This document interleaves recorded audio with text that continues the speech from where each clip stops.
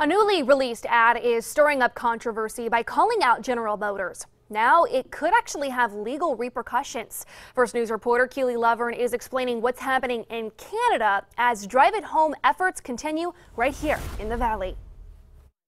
Chelsea, I'm live outside the GM Lordstown plant, which is just one of the five plants in North America that's set to lay off salaried workers today and then idle by March 1st. But Canadian union workers are calling out the automaker in a controversial advertisement that could now have legal repercussions. Canadian trade union Unifor released a 30 second commercial called GM Leaves Canadians Out in the Cold, and that was broadcast on Canadian TV stations during Sunday's Super Bowl game. The ad calls the automaker greedy and un-Canadian and accuses GM of continuing to expand in Mexico where wages are cheaper while leaving other workers out in the cold. A move that's as un-Canadian as the vehicles they now want to sell us. GM, you may have forgotten our generosity, but we'll never forget your greed. If you want to sell here, build here. Lawyers for GM demanded that Unifor end publication of the ad, but the union said they would not comply with that demand.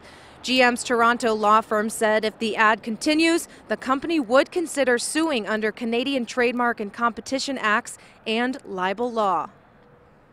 GM says the ad is both misleading and inaccurate, but Unifor says they will not be intimidated by their decision to continue sharing their ad.